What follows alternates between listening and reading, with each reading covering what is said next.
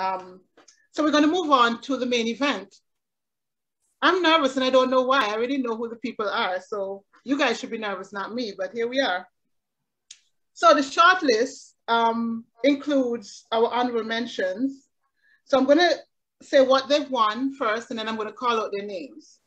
So the honorable mentions are going to receive cash from um, Deborah Thomas, who is a was a 2011 winner and was a judge this year. And a very exacting judge, I must say, because she challenged us. Like we came to the table with each of our own rankings and stuff, and she pushed back hard for the stories that she believed in. So I think, Deborah, it means that you're going to have to be a judge going forward because you are very serious about the task. Um, so oh, um, we have um, cash from Deborah. We have gift certificates from Rotary Club of Antigua. The Rotary Club of Antigua gift was so substantive, we were able to spread it out across several categories.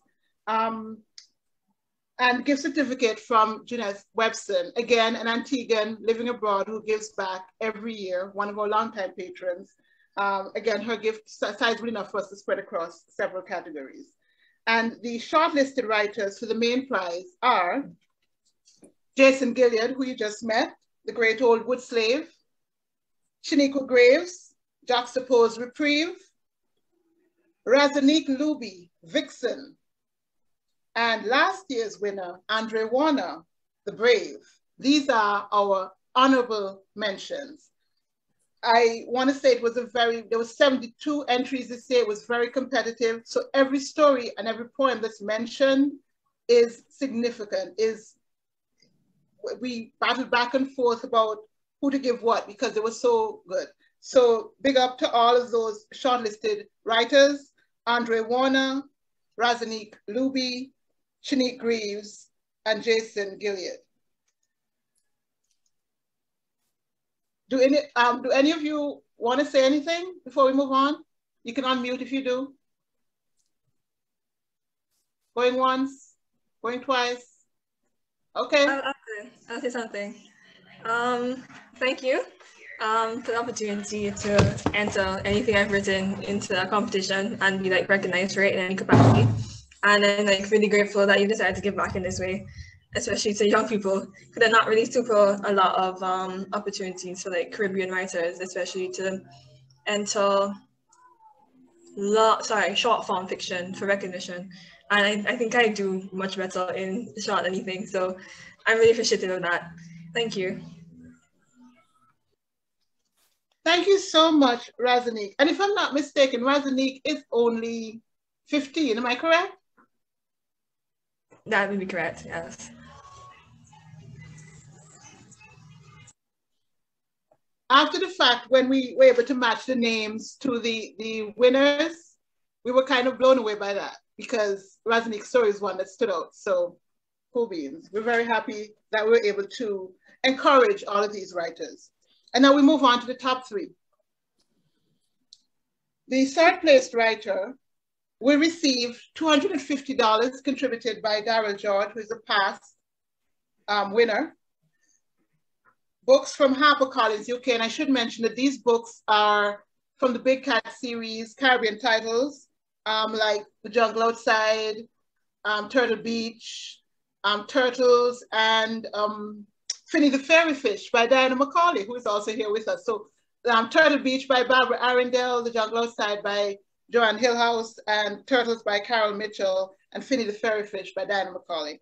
And also books from Sekou Luke and from Barbara Arrindell.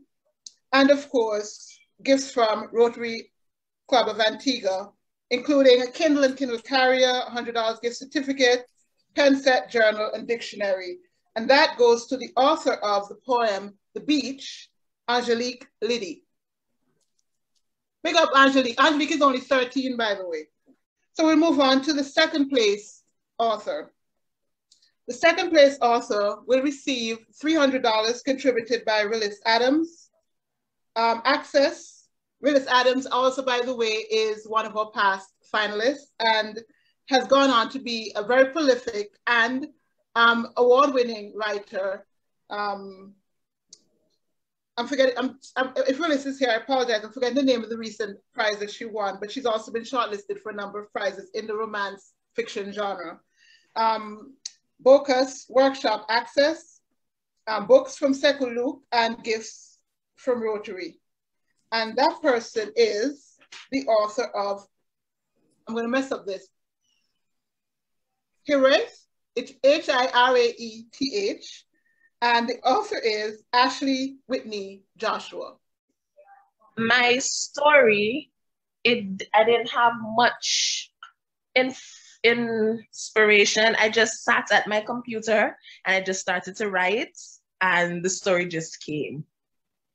I had I had been to Canada recently, so I just used my experience of the place and I added it into the story in terms of location and how the people, how I, what my experiences were with the people and such.